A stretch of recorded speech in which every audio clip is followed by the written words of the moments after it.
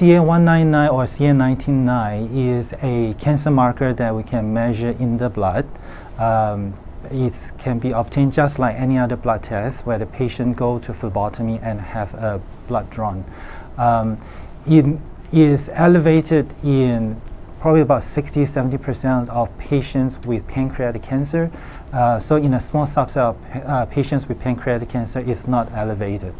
Um, it is, it is helpful in helping to reach a diagnosis of pancreatic cancer, but there are definitely false positives as well. So high, uh, um, high CA 19-9 in a patient uh, who does not otherwise have clinical features of pancreatic cancer um, is then not helpful in getting a diagnosis.